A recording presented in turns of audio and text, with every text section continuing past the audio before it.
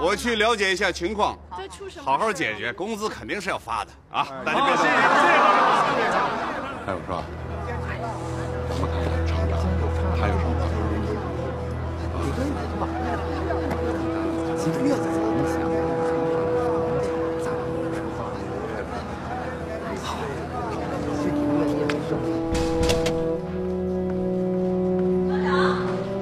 哦，林远，你来了，正要找你呢，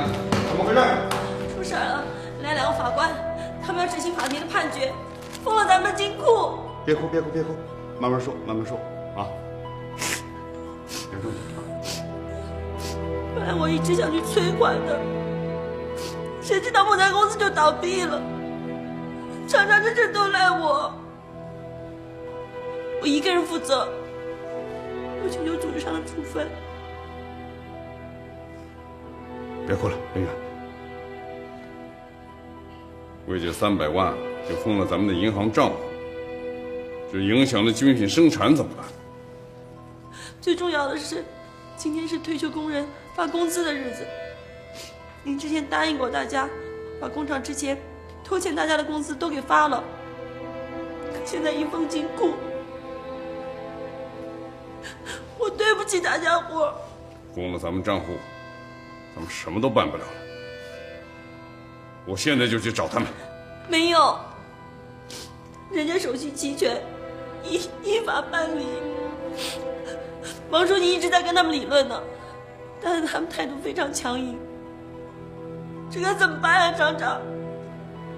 别着急，别哭。不管怎么样，你们也不能把这个金库给封了呀！你这样会直接影响我们的生产和生活的，你给，是不是？哎哎哎，大家伙见一下，我们在执行公务。你说这些都没有用，你们厂输了官司又不还钱，我们是依法执行。我们已经还了三百万，是不是？我们还了三百万，那法院又判我们再还三百万，你们现在又把我们这个金库给封了，那你说是不是太过分了？这样啊？好了好了好了，我们是依法执行，你就不要再纠缠了。我们这么大一个厂子是军工厂，现在是最困难的时候，你们能不能了？军工企业也要依法办事。王书记，我看你还是先回去吧。那这样，我回去呢跟我们厂长商量一下，你们呢也仔细考虑一下我们的意见，好不好？好，只要你们把这三百万让我带走，我立即通知银行解冻你们的账户。那你看这样好不好？先解冻，把这封条先拆开，起码我们能够发那个职工的工资，是不是？不行，怎怎么不行啊？绝对不行。喂，啊，老李，我是。你少吓唬我，就晚两天。什么违约责任？好，就这样了，我答应。哎，哥，听说法院把咱们厂的银行账户给封了，真的？是，这开工资又泡汤了。咱们账上有钱，本来是可以开工资的，但是法院把账号给封了。我还说过来要点钱，你我二零四车间医药再不更换零件设备，我就得停产了。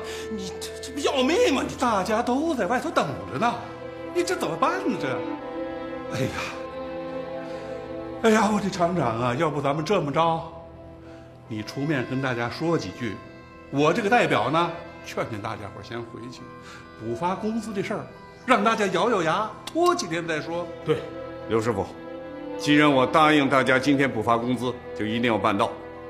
您容我再想想。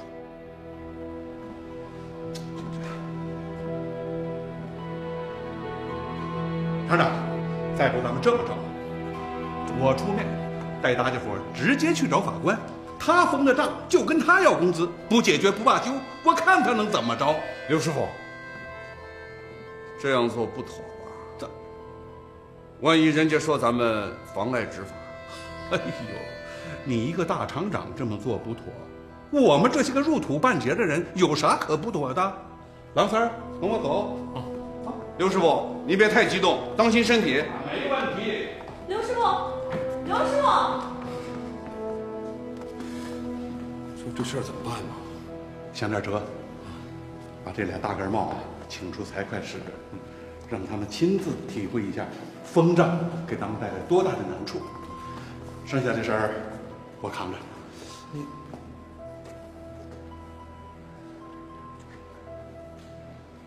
行吗？你放心，等着我，等着。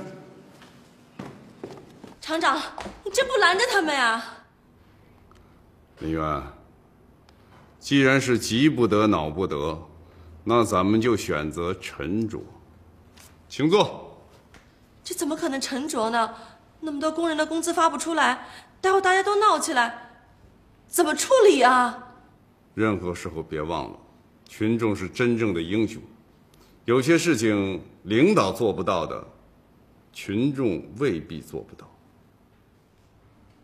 英雄也要发工资啊？这个，你怎么还看起棋谱来了呢？逼宫的方法有很多种，比如说沉底之炮，再比如说卧槽之马，还比如说关门居。这都是些什么呀？厂长，你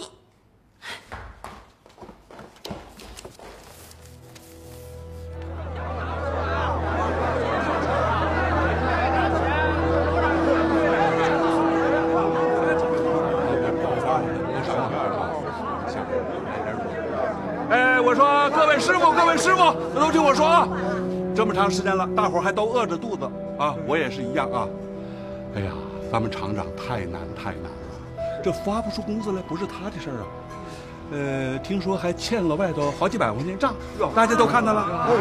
这法院来了，哦，账号金库全封了。你说那大盖帽咱们谁惹得起啊？哎，我说这样啊，厂长替咱们想，咱们呢也得替厂长分担着点儿。下边进去以后你们都听我的，都听我的啊。好，进去走。维护法律的尊严，都要什么配合，不要妨碍我们执行公务。没有谁骂你，王家万。好了好了，王书记，二位法官久等了，厂长让我过来请二位法官。我们是来执行公务的，不是来吃饭的。那二位法官误会了，不是请二位过去吃饭喝酒。我们厂长已经答应还给林月吉三百万，想请二位法官过去当面谈谈。呵，你们厂长架子还挺大，请我们过去谈谈。我们厂长手头上好多事儿在处理，走不开。您二位法官不是过来解决问题的吗？咱们过去坐下来当面谈谈，把这些问题处理好了、解决好了，不是对我们双方都有利吗？您说呢，于厅长，是不是这个道理？那咱们就过去。你去吧，我不去。哎，别别别，林法官，你看我们厂长让我过来请二位，说您没去，我回去得挨批评。我们做下属的也不容易，您您给个面子。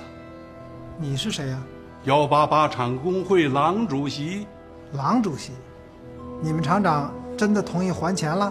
这么大的事儿，我还能开玩笑？二位，厂里的老人啊，胡子都白了，说话算数。二位，请吧。二位，请吧，走吧。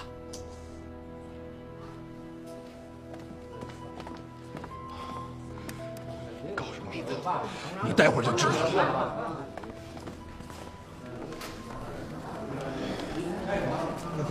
红脸，你唱白脸，今天一定要拿到钱。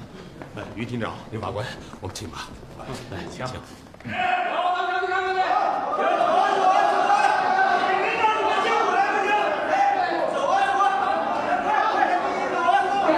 怎么这么多人？这这是怎么回事？我们厂今天发工资呢，哎，大家都给二位法官让个路啊！哎，各位各位各位，就是他们，就是他们封了咱们的金库，咱们才领不着工资的。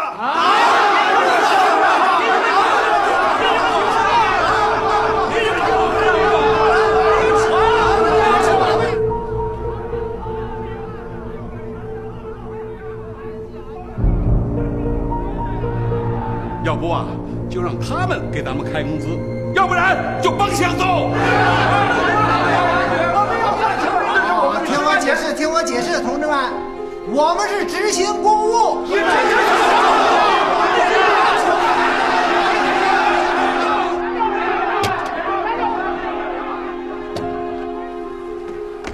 哥，那两法官被堵在楼梯口，让老工人们围了个水泄不通。就是，我就是要让他们好好看看咱们幺八八厂有多困难，让他们也感受感受咱们老工人领不着工资，心里面是什么滋味。哥，你说自从你当了厂长，你是谁的钱都敢欠呐？你敢欠老工人们的工资吗？啊，今天可是让这两法官赶上了，让让他们好好体会体会。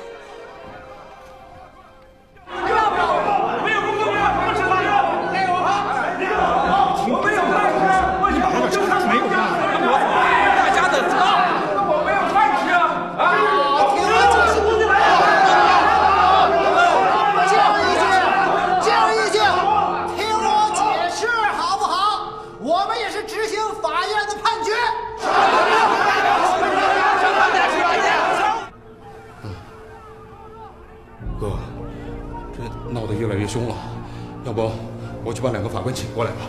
王三儿，急什么？行，那就多等等，让他们也知道什么叫不稳定，什么叫民心不可违。刘师傅他们不会有什么过激行为。啊，这你放心了，哥。刘师傅什么素质？这么些年带着老工人上市里、省里、上北京上访过多少次了，从来没出过事儿，你放心。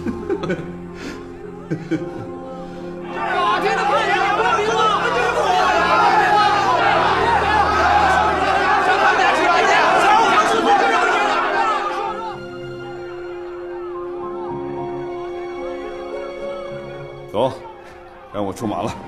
哥，全看你的了。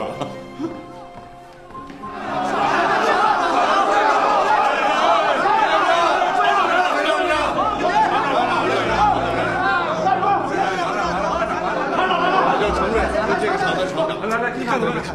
厂长，不能让他们把工资划走啊！对呀、咱们好不容易为了九牛二虎的劲儿才领这点工资，大伙儿说诸位师傅，诸位师傅，呃，两位法官是我请来的客人，我们有事情要商量。冻结账户的事情我们要谈一下，我保证能够顺利解决。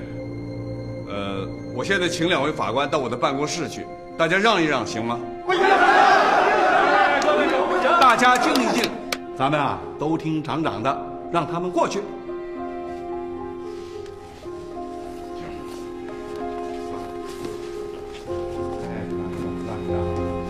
是吧啊，要是不解冻、不动真格的，还是不让他们走。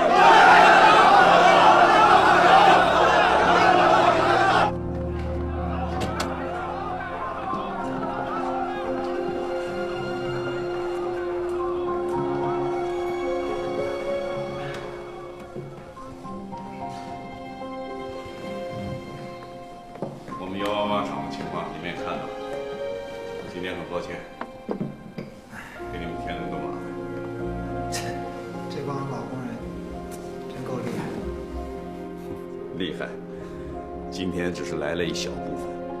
我们厂有六千退休职工的，这么多啊！这么大的厂子，从五十年代到现在，有六千退休职工还奇怪啊。因为拖欠工资，这些退休职工上访闹事儿，弄得市里、省里甚至中央都很头疼。所以，今天他们有对不住的地方，我这儿道歉了。来之前呢，我倒是听说过磨盘山幺八八厂的一些情况，没想到还真是这样。这些老工人退休的早，早些年工资比较低，所以他们的退休工资就比较低，生活比较困难，意见很大。就这么点退休工资，因为厂子不景气，还经常拖欠。你想，他们什么心情？我到任之后，答应给他们补发拖欠的工资。今天正是领工资的日子，你们又来查封账户，正好赶上了。哎，我想说的是，对待像我们这样的企业债务，如果简单的采取封存、冻结的方法，可能不行，搞不好会引发不稳定事件，引起不必要的麻烦。当前稳定是全局，稳定是发展的前提。党中央这个方针你们是知道的。从大的方面说，请你们从稳定这个大局考虑；从小的方面来说，请你们帮帮我这个厂长的忙，解冻我们厂的账户。好，不行。对法院的判决，我们必须不折不扣的执行。法院判决的时间不长。我们没有上诉，就是表示我们愿意偿还这三百万。可是你们这么快就来强制执行了，可以告诉我是为什么吗？实话跟你说吧，是大岭林业局请求我们尽快执行，是你们厂有人给他们局长打电话，说你们账户上有钱。是这样，我向你们保证。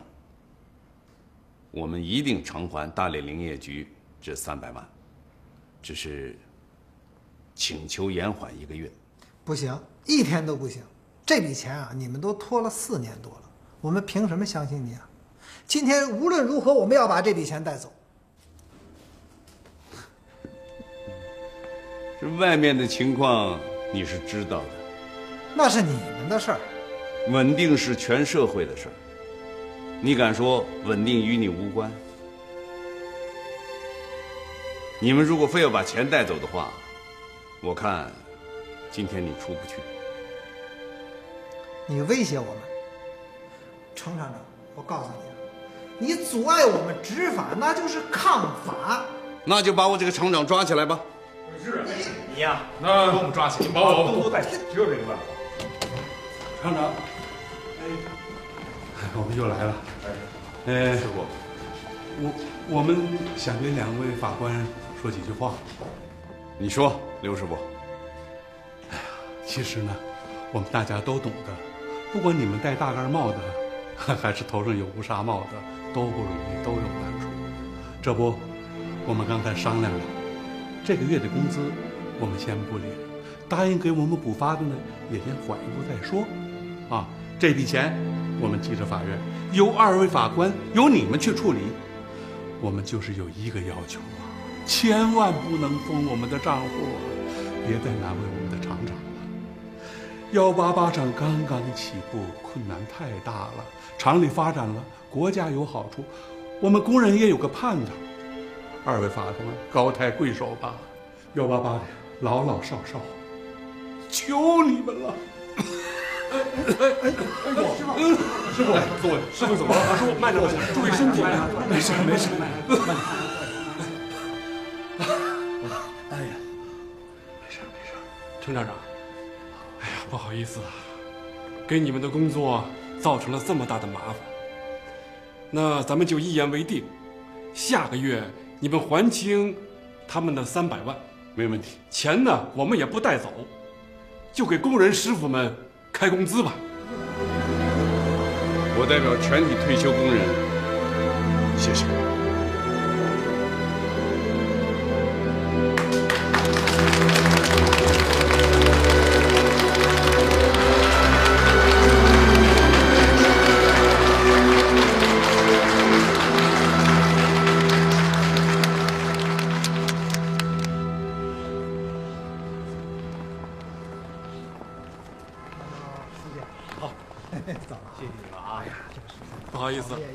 添麻烦了，嗨，别客气，再见。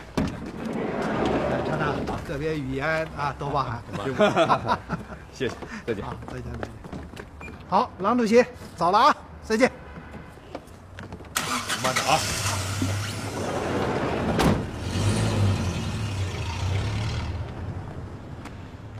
哎，咱们厂这些老工人，由刚开始聚在一起上访，到现在团结一致救厂。变化真大，都是些好老头啊！哎呀，咱们的工作没做好，他们的退休工资太低了。是，每次一发工资，看见工资表，我心里就惭愧。等咱们厂有了钱，首先就给他们涨工资。对，走。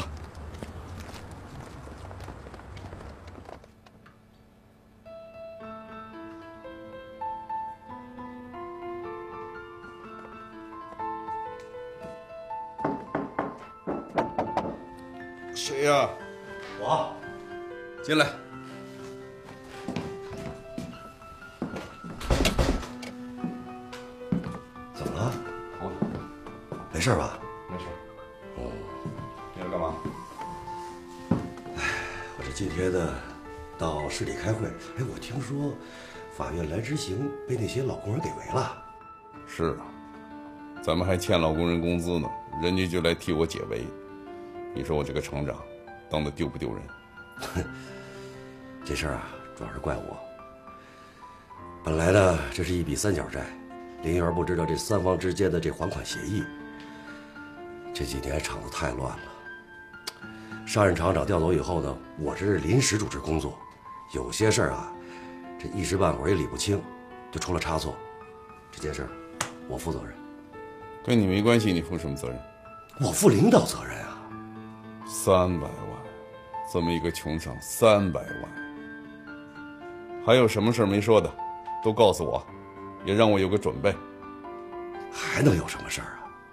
你呀，也不要听人瞎说，有点立场好不好？人家怎么不瞎说别人，要瞎说你啊？我从上任以来就一直在给你擦屁股。那你说怎么办吧？我想踢你。你要是真舍得，那你就踢吧。名品车间项目进展怎么样了？呃，合作方呢有实力也有市场，我们这边呢，呃，有技术有生产能力。如果进展顺利的话，今年年底就可以投入生产了。那太好了，就算你将功补过吧。咱们厂的事儿啊，还真不是哪个人的问题，还是那句话，中层的领导班子一定要调整。还不到时候，你不知道啊，咱们中层以上的领导，大部分都是赵军亮提拔的，所以他才在厂里能够一呼百应。现在他是支持你，可是你想过没有，如果一旦有一天，他们在一起来反对你，你怎么办？我听说上一任厂长的离开都跟赵军亮有关系。这件事情要慎重。我还是那句话，要谋而后定。我发现林园跟赵军亮好像隐藏着什么。你发现什么了？你看，我最近查咱们厂里一些老账，我发现了很多疑点。我问林园，林园就是不说。林园这个人业务能力很强，人品也不错。你觉得他有什么问题吗？我问你，你知道咱们厂里工程师楼这件事吗？知道。利用厂里闲置的土地开发房地产，解决科技人员的住房困难，好事啊！你只知其一不知其二。那房地产公司六合公司是谁的？王老六。咱们厂那些废旧物资大多都卖给谁？王老六。咱们厂卖出那些设备，经过谁代理的？你知道？王老六。难道这里面没有问题吗？有可能。程瑞啊，我发现你什么都知道。我可要提醒你，你可别成了他们那些人的保护伞。王大义，你说了半天，全都是怀疑，是猜想，你没证据。我告诉你，我一定会给你拿出证据。好啊。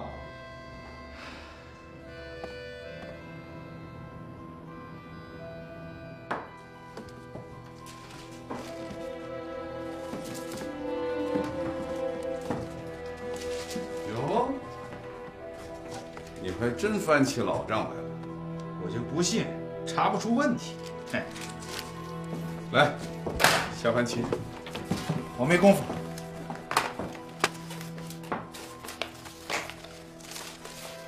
查出什么问题来了？你看看这个合同，这是美华公司从我们厂买的旧的机床设备，用了一千三百万。我们厂那么多的设备，才卖了一千多万，而且他们是分期付款。你看看啊，而且还得让我们的人员上门给他培训，最后我们的这些工程师全跑到美华公司了，里外里我们受到了双重损失。你看这合同，这是上届班子决定的事儿。这是问题呀、行，你查吧。你看看这个问题啊，哼，没问题，我才不信呢。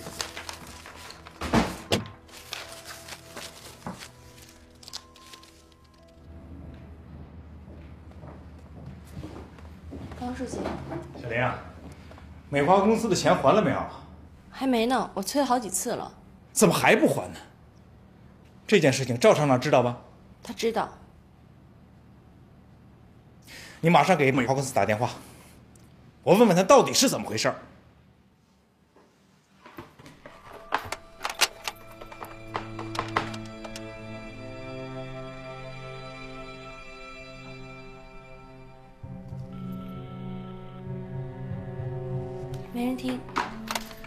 这样，你把他们地址写给我。他们财务负责人叫什么名字？李秀明，现在就找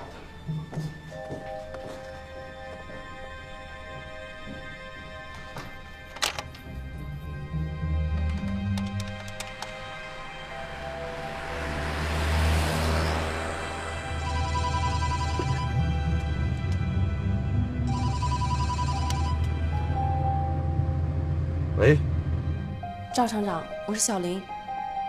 王书记正在查美华公司六百万的事儿。我知道了，你就说你不清楚。好，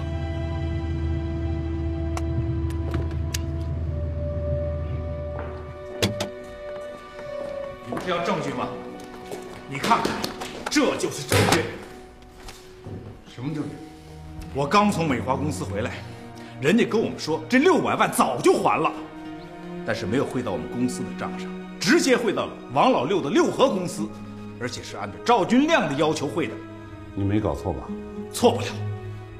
没问问林源是怎么回事？我问过林源很多次，林源说不知道，他怎么可能不知道？这件事情，只有当面去问赵军亮了。嗯我马上叫他过来。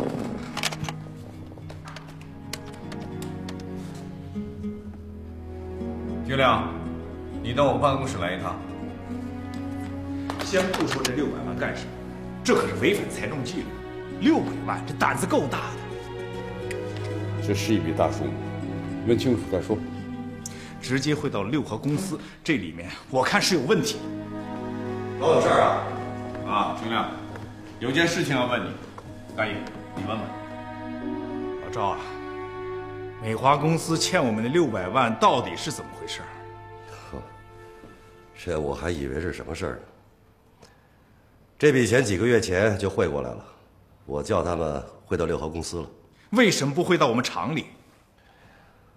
工程师住宅楼的资金出现了困难，六百万汇到六合公司是临时周转一下。那个时候你们还都没来呢，当时是我临时主持工作，是我决定的。你这可是挪用公款呀！哼，没那么严重吧？工程师住宅楼这也是我们厂的项目啊。那六百万还回来没有？还了，在哪儿？让我用在民品车间的项目上了。那我们厂的账目为什么没有显示呢？我们厂现在是处处需要钱呀，那样的话，民品车间的项目就保证不了了。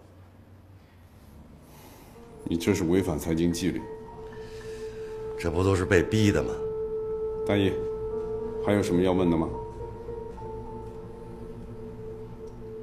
那这件事您清楚了。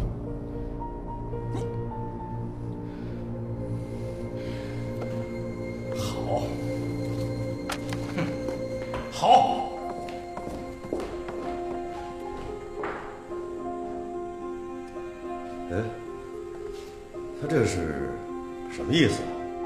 没什么意思啊，他查账遇见问题了，来问问你。你不是说过过去的事儿可以既往不咎了吗？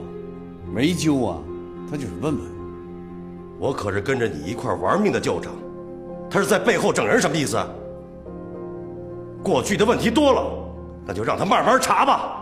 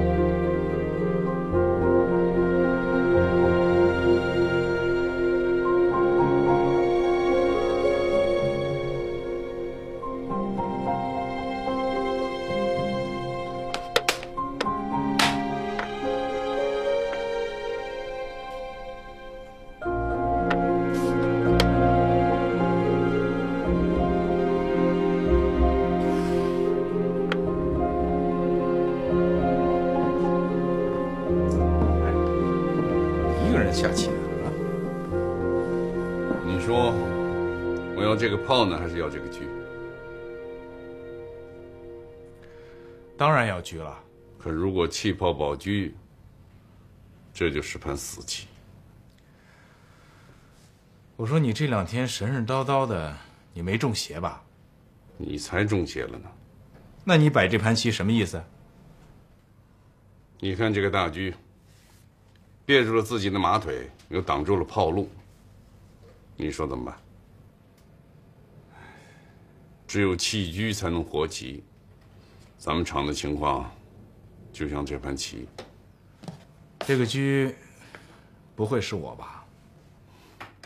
你是王大炮，赵军亮是这个车。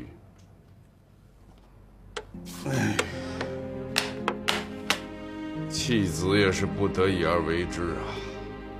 你准备怎么办？不会是想赶我走吧？你真的想走？我早就想走了。实话。我什么时候跟你说过假话？你不能走。我想建议兵总把赵军亮调走。你别为难了，还是我走吧。废话。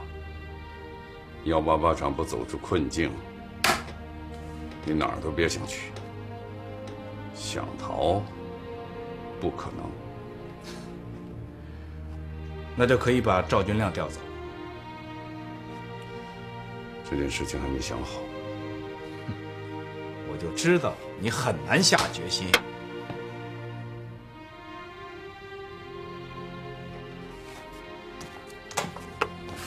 调整中层领导班子，这件事还没想好，需要有个统筹的考虑。咱们先把准备工作做细，拿出个方案来。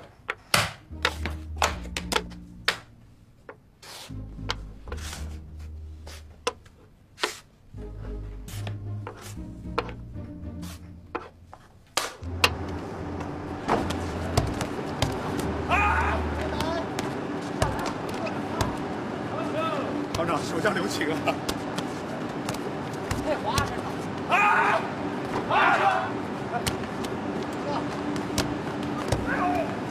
哎，这谁弄的？谁弄的？这是？看见了吗？这就是你挖的坑，害了你。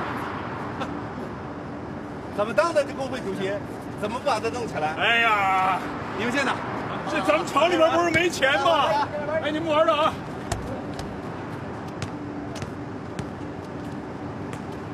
这工作越是忙，这职工健康的业余生活越是要丰富。你看这篮球场都成什么样了？你看看，你这个工会主席失职。厂长，你找我不会只谈这个事儿吧？没那么轻松。走。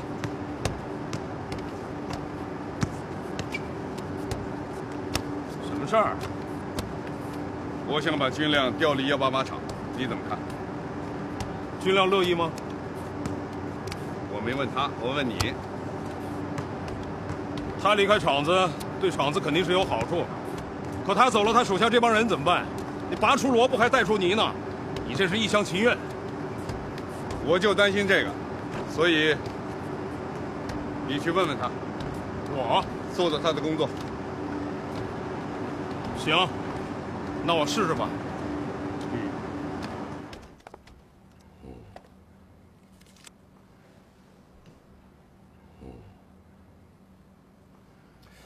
这设备安装一定要抓紧，跟我们合作那胡老板要来看我们的生产线啊。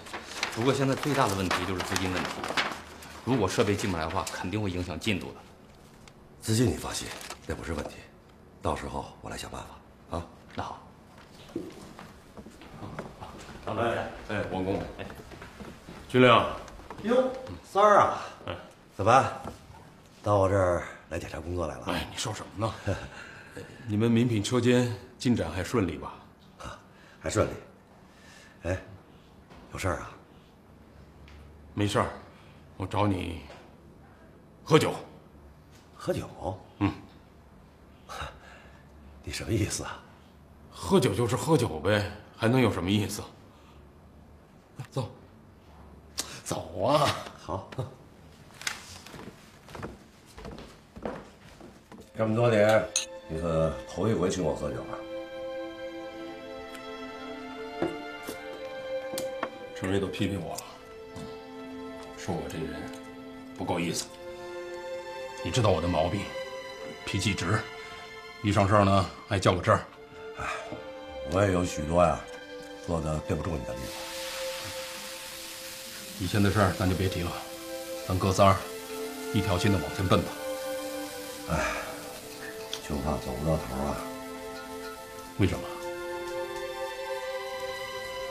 有人要找我。谁呀？谁？那你还不清楚吗？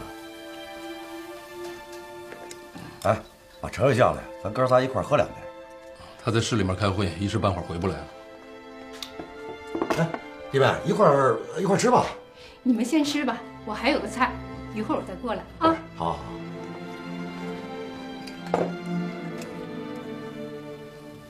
军亮，陈瑞跟你说没说咱们厂子里要调整中层干部的事儿？说了，说怎么调整还没想好呢。你是什么意见？他是一把手，你得听他的呀。可能得有大动作。嗨，无非就是撤几个人呗。嗯，还不是撤几个人的问题。陈瑞想把你调走。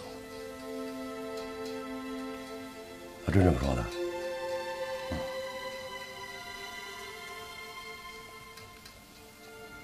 你考虑考虑。我不想走。你考虑考虑吧。那程瑞为什么不直接跟我说呀？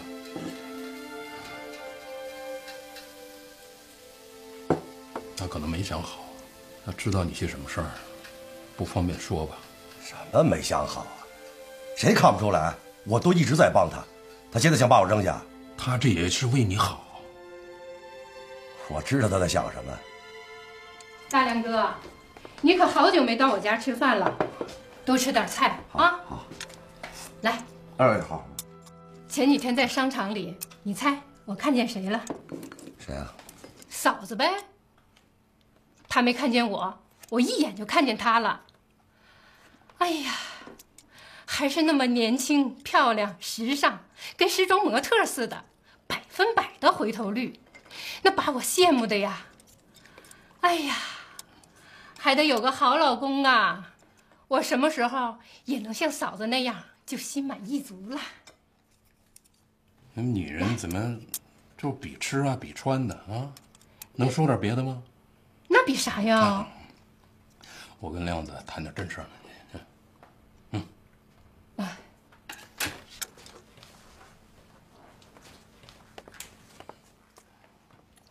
来，三儿，把这点干了。